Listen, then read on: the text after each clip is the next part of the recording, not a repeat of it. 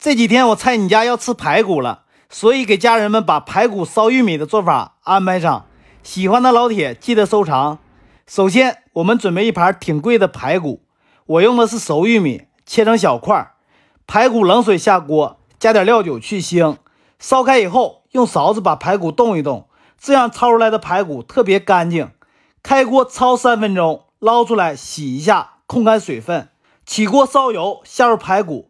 中火炒四到五分钟，炒出排骨的香味儿，加入大块葱姜八角、酱油、蚝油、老抽，翻炒均匀上色，然后加水和排骨一平就行，加盐、十三香、白糖调味儿。开锅调小火，扣盖炖三十分钟，然后加入玉米，扣盖中火再炖十五分钟，最后加入鸡精，大火将汤汁收浓，撒上几根小葱就可以出锅了。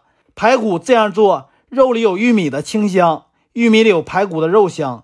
老弟主页分享了两百多道美食了，如果有哪道是你喜欢的或不懂的，记得给老弟发消息，老弟看到了马上回复你。感谢你给老弟点的双击。